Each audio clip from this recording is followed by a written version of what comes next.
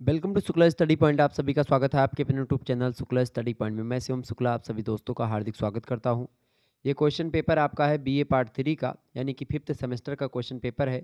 Examination 2023-24 political science का ये प्रश्न पत्र है, यानी राजनीति विज्ञान का। आपको बता दूँ, ये पेपर आपका दो घंटे का हुआ है और पचहत्तर नंबर का पूर्णांक था इसमें। आपके पेपर नंबर वन का जो नाम है, वो नाम है कंपरेटिव गवर्नमेंट एंड पॉलिटिक्स ये आपके पेपर का नाम है जिसमें यूके यानी कि यूनाइटेड किंगडम यूएसए यानी अमेरिका, संयुक्त राज्य अमेरिका, ठीक है, और स्विट्ज़रलैंड और चाइना ये चार देशों के संविधान और चार देशों की पॉलिटिक्स के बारे में आपको तुलनात्मक अध्ययन करना होता है। इसका मॉडल पेपर महासंग्राम वीडियो दोनों अवेलेबल हैं। आप हमारे चैनल से के माध्यम से प्लेलिस्ट में वीडियोज़ हैं, उनको उनके माध्यम से आप देख सकते हैं। तो बहुत सारे प्रश्न जो थे आपके जो पेपर में आए थे, इस पेपर में आए थे, महासंग्राम और मॉडल पेपर, इससे पहले मैंने दे दिया था तो उससे बहुत सारे प्रश्न लगभग सभी प्रश्न पूछे गए थे। आपकी परीक्षा के लिए या पेपर में जो प्रश्न पूछे गए बहुत ही महत्वपूर्ण है तो इन पेपर के प्रश्न को आप तैयार कर लीजिएगा। शायद ये पेपर आपका वीर बहादुर सिंह पूर्वांचल विश्वविद्यालय का है और अन्य विश्वविद्यालयों के लिए महत्वपूर्ण हो सकता है। देखिए, नोट आपसे कह रहा attempt questions from all sections as per instruction, यानी सभी खंडों से निर्देशानुसार प्रश्नों के उत्तर देने होते हैं। तीन खंडों में आपका पेपर जो होता है, बटा हुआ होता है। सेक्शन ए यानी खंड आ से अति लघु उत्तरीय सेक्शन बी यानी खंड बा से लघु उत्तरीय और खंड सा, यानी सेक्शन सी से दीर्घ उत्तरीय यानी कि लॉन्ग आंसर टाइप क्वेश्चन पूछे आते हैं। सेक्शन ए की बात करें तो very short answer type question जिनको अति लघु उत्तरीय हिंदी में कहते हैं, उसको लेकर के दिशा निर्देश ये दिया जाता है कि attempt all parts of this question give answer of each part in about fifty words यानी आपको पचास शब्दों में एक प्रश्न का उत्तर लिखना है, ठीक है? कुल मिलाकर के दस क्वेश्चंस आपको यहाँ पर दिखेंगे, दस के दसों प्रश्न, यानी all parts of this question आपको सारे प्रश्न को अटेम्प्ट करना है करना है। ठीक है, दस नंबर मतलब दस क्वेश्चन आपको करने दस के दसों प्रश्न इस तरीके से।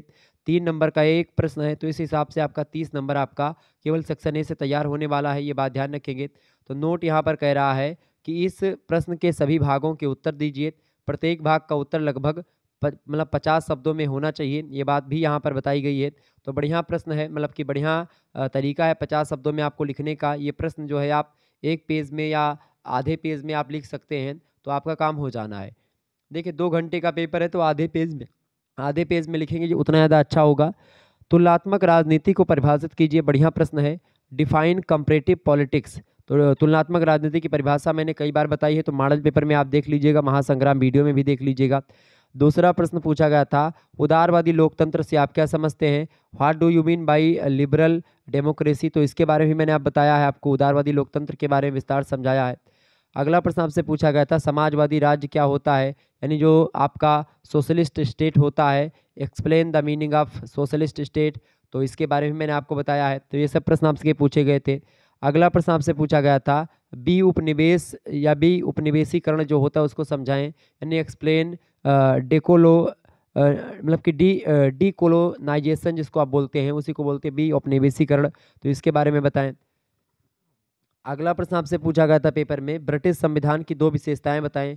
तो इसकी कई विशेषताएँ मैंने आपको बताई हैं ब्रिटिश संविधान की।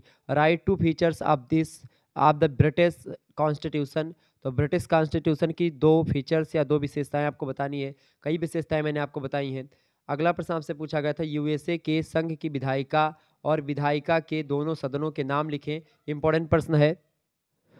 तो यूएसए के संघ की विधायिका का नाम और विधायिका के जो दोनों सदन हैं, उनके नाम आपको लिखना था। मैंने सारे चीज़ों के बारे में आपको विस्तार समझाया है। आप देख लीजिएगा, मॉडल पेपर महासंग्राम वीडियो इसमें क्लियर हो जाएगा। देखिए write the names of the legislature of the USA and both of house of the legislature ये वही प्रश्न की अंग्रेज़ी है। अगला प्रश्न आपसे पूछा गया था, चीन के साम्यवादी दल की स्थापना कब हुई? When was the communist party of China established इसके बारे में भी मैंने आपको बताया था। अगला प्रश्न है, बहुर कार्यपालिका जो स्विट्जरलैंड की एक विशेषता है, उसके संविधान की। तो इसके बारे में मैंने आपको विस्तार समझाया था। What do you mean by plural executive यानी जो बहुल कार्यपालिका होती है, वो कहीं ना कहीं पे आप देखिएगा कि मिश्रित कार्यपालिका की संसदात्मक और संघात्मक दोनों का मिश्रण होती है एक प्रकार से। आगे देखिएगा, अगला प्रश्न आपकी स्क्रीन पर आ चुका है। एक देश, दो व्यवस्था का अर्थ बताइए। यह किस देश से रिलेटेड है? तो चाइना से रिलेटेड है। जैसे ताइवान और हांगकांग को चाइना अपना देश समझता है, लेकिन वो अपने आप को स्वतंत्र भी मानते हैं। तो इस तरीके से एक देश, दो व्यवस्था की बात चाइना के अंतर्गत आपको देखने को मिलती है। Explain the meaning of one country two system which country does it belong it to तो ये चाइना से रिलेटेड है। आगे देखिए, इस सभी प्रश्नों पर मैं चर्चा कर चुका हूँ। विस्तार से आप महासंग्राम वीडियो उठा करके देखेंगे, मिल जाएगा। मॉडल पेपर में भी आपको मिल जाएगा। अगला प्रश्न, दसवां प्रश्न है, माओवाद पर टिप्पणी करें। कॉमन मतलब कमेंट ऑन माओइज्म तो माओइज्म पर आपको टिप्पणी करनी बढ़िया प्रश्न है, परीक्षा में आ सकता है। आगे देखिएगा, अगला क्वेश्चन आपकी स्क्रीन पर आ चुका है सेक्शन बी से यानी लघुत्तरीय प्रश्न। शार्ट आंसर टाइप क्वेश्चन आपके पूछे जाएँगे, लघुत्तरीय प्रश्न। नोट आपसे करा attempt any three question give answer of each question in about two hundred words 200 शब्दों में आपको एक प्रश्न का उत्तर लिखना है। आपको बता दूँ, केवल तीन प्रश्न करने हैं यहाँ से। आठ प्रश्न दिए जाएँगे, उनमें से तीन प्रश्न आपको छाट करके करने हैं। दस नंबर का एक प्रश्न है। आसानी से हो जाएगा, एक प्रश्न का उत्तर आपको 200 शब्दों में लगभग में लिखना है। ठीक है? दूसरा प्रश्न आपकी स्क्रीन पर आ चुका है। तुलनात्मक राजनीति की उपयोगिता की विवेचना कीजिए।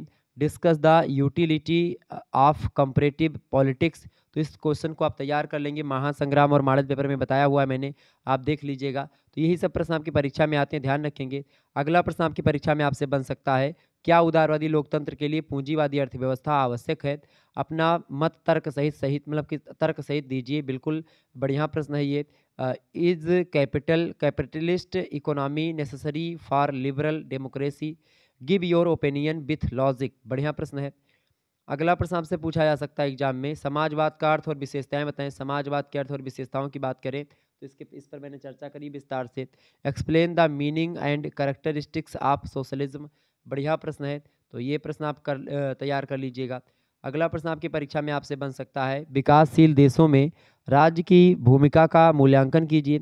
यानी कि evaluate the role of the state is developing country, बढ़िया प्रश्न है, परीक्षा में आ सकता है। अगला क्वेश्चन आपकी एग्ज़ाम की दृष्टि से महत्वपूर्ण है। ब्रिटिश संसद की शक्तियाँ और भूमिका की विवेचना करें। Discuss the power and role of the British parliament. इसके बारे में विस्तार चर्चा करी है, देख लीजिएगा इसको।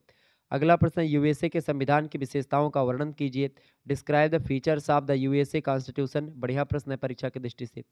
अगला क्वेश्चन आप देखेंगे, आठवां प्रश्न है, चीन के राजनीतिक व्यवस्था पर कन्फ्यूसियसवाद के प्रभाव की व्याख्या कीजिए। ये बढ़िया प्रश्न है, परीक्षा में पूछा गया और इस पर मैंने बताया भी था कि ये प्रश्न आपसे बनेगा।